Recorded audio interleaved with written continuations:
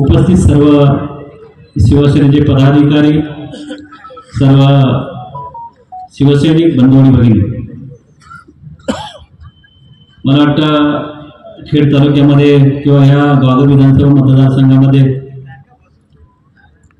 संबोधित करण्यासाठी म्हणून प्रथमच संधी मिळते.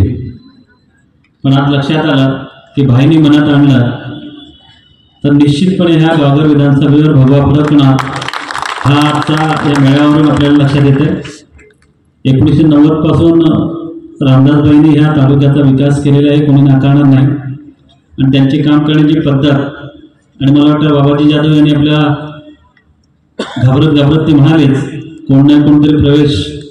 दर मला वाटतं महिन्याला कायमस्वरूपी प्रवेश करत करत करत हा तालुका ऐंशी नव्वद टक्केपर्यंत त्यांनी त्यांच्या मतदारसंघ नेलेला होता. आणि तो पुनश्च एकदा या आपल्या या दापोली खेळनंतर गावघरमध्ये अं, गावघर मतदारसंघामध्ये त्यांनी मोर्चा वळवलेला आहे आणि म्हणून महाराष्ट्राचे मुख्यमंत्री एकनाथजी शिंदे साहेब यांच्या नेतृत्वाखाली महायुतीचं सरकार उत्तम काम करत आहे. विविध योजना आपल्या या सरकारच्या कालावधी आलेल्या आहेत. विकासाची कामं एवढ्या कोटी कोटीचे आकडे आपण यापूर्वी कधी ऐकले नव्हते एवढी कामं आपल्या या महाराष्ट्रामध्ये होत आहे. आणि या देशाचं सरकार मोदीजींच्या नेतृत्वाखाली आपल्याला सर्वांना सहकार्य करत आहे. आणि म्हणून आपल्याला ह्या आजच्या मेळाव्याच्या निमित्तानं विधानसभा जरी दूर असल्या तरी आता लोकसभा या मला वाटते त्या आठवड्याभरामध्ये आचारसंहिता लागू शकते.